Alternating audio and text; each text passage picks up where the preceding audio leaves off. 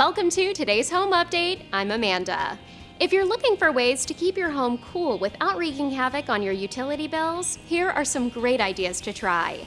Close your drapes. Pull your drapes closed during the sunniest part of the day to keep your home from heating up, or try light colored blackout curtains.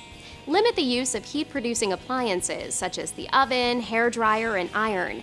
Frost your fan. Need to cool off while sleeping or working at your desk? Grab a mixing bowl, fill it with ice or a frosty ice pack, and set it at an angle in front of a large box fan pointed toward you.